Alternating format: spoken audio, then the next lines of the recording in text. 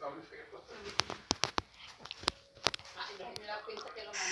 everyone, today I'm going to show you how to test your remote control and see if it's functioning properly using a digital camera, digital camera phone, or an AM radio. So first I'm going to show you how to test your remote using a digital camera phone.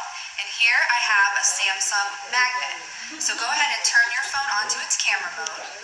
Then you're going to take your remote control and point the sensor on the remote control directly towards the lens of the camera and begin pressing buttons. And as you can see, the light is flashing. That means that the button you're pressing is functioning properly. And I would recommend going through and pressing every button on the remote control to ensure that the entire remote control is functioning properly. Okay, so another way to check your remote is using an AM radio. So go ahead and turn your radio to an AM station that has only static. You don't want any music playing or anyone talking in the background.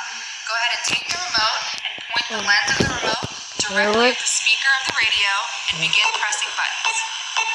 Hear that beeping noise? That means that the buttons are functioning properly. And again, as with the camera test, I recommend that you go through and press every button to make sure that the entire remote is functioning properly. So Hey.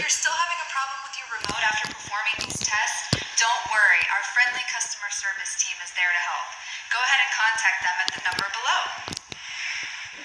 Or if you need to purchase a new remote, maybe you lost it or it's not working properly, you can do so at our website, also listed below. Thanks for watching. Bye bye.